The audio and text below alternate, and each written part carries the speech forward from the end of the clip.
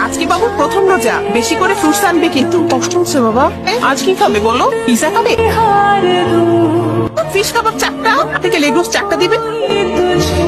আচ্ছা মা না খেয়ে থাকলে কি রোজা হয়? রোজার সময় সংযম করতে হয়। অন্যের কষ্ট বুঝতে হয় আর মানুষের সাথে ভালো ব্যবহার করতে হয়। এত চালালে তো ইফতার রাস্তায় করতে হবে। দাদা এখানে রিক্সা চালাচ্ছি তো?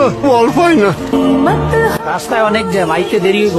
ভাতে পানি ফেলে আয় তার করে নিও। কাল পরশু বাজার করুম নে। মামা যাবেন?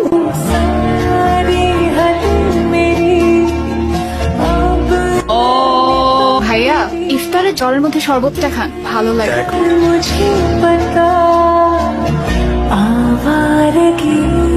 আঙ্কেল আম্মা আপনাকে এগুলো দিতে বলেছে। মামা নেন একসাথে ইফতার করি। নাইলে মজা আছে। ইফতারটা করে নিন আঙ্কেল।